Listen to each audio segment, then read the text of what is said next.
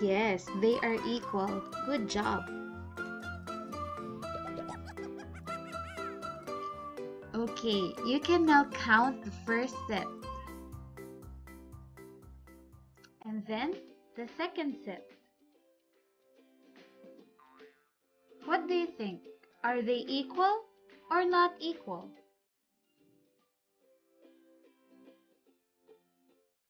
Yes, they are not equal.